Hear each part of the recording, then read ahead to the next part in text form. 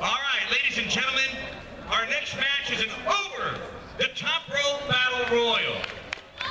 Yeah, the only way to be eliminated is to be thrown over the top rope and down to the floor.